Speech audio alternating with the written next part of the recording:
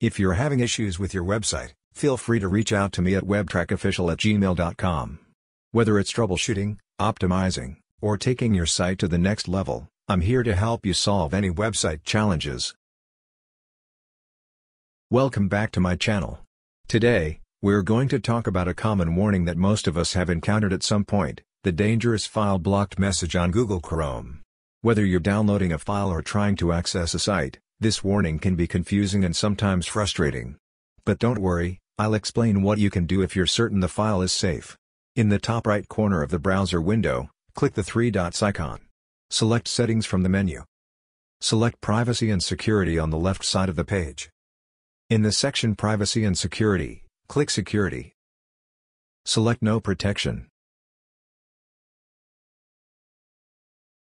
Now simply download the file again and this time it will be downloaded to your PC.